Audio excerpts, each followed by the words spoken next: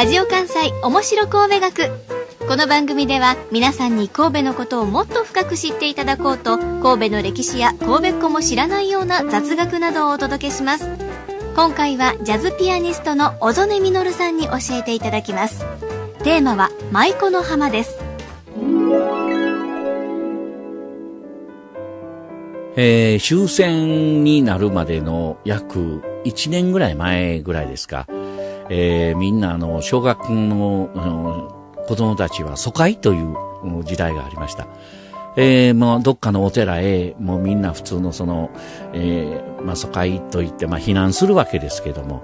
私の場合はその縁故疎開といって自分のその知り合いのところへこう行くという、えーそんな思い出なんですけどね。私はあの、舞妓の異常閣のすぐ近くに、そのばあちゃんの家があったんで、そこの、ま、あの、ちょうど前が、えー波打ち際、に、あの、家がありました。後ろがちょうどもう、えーレールが JR、今の JR がまあ、うん、そうですね、その頃、また機関車の時代ですから、えー、ピーって言いながら、ドドン、ドドン、ドドン、ドドン、その前は前で、こう、波打ち際ですから、もう波の音で、もう3日か4日はその、全然寝つけなかったような覚えがあるんです。えーそこに約1年ぐらい、その、疎開してましたかね。で、その時に一番楽しかった思い出っていうのが、えーそこの、あの、隣のおじいちゃんが、ボン、ボンと来ましたね。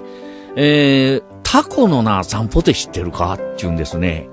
えー、それ何の？そしたらね、タコがな、散歩しよんねん。朝の早朝な、見るか？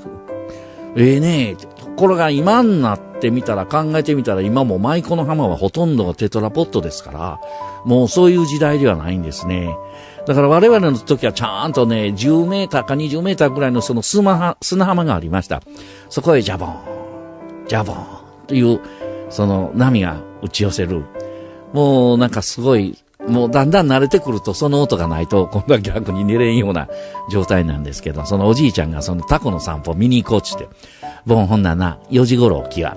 はい、わかりました。で、ちゃんと待ち合わせしてね、その、そー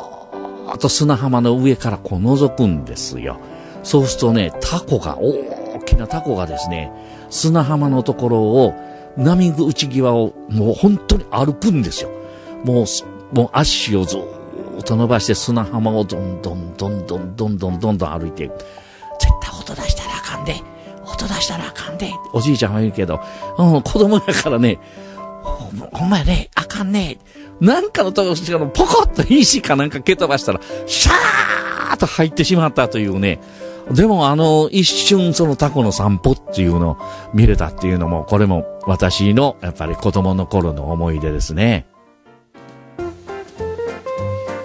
そんな話があったとはねラジオ関西面白神戸学でした